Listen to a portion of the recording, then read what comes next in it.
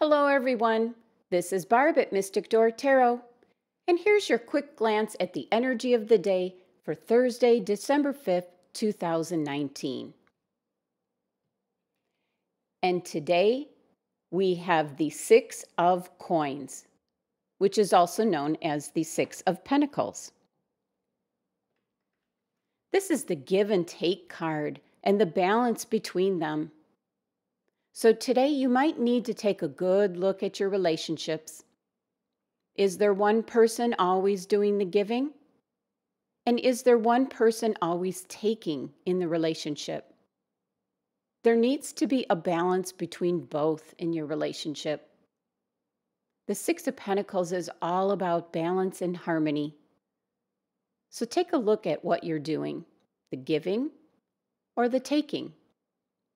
This is a day to get that back in line before the scales are tipped out of balance and you might lose that precious relationship for good.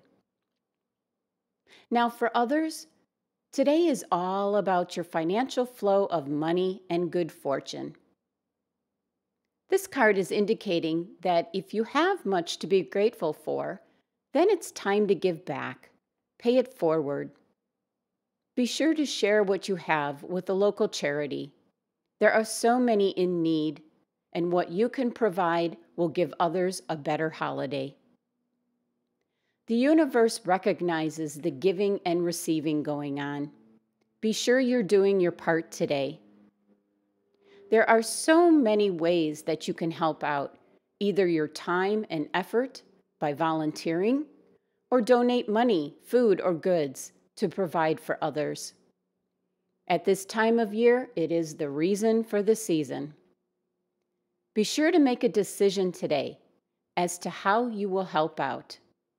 And remember, today is a gift. That's why it's called the present.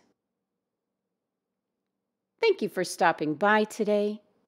And please subscribe and support my channel. Love and abundance. Until tomorrow.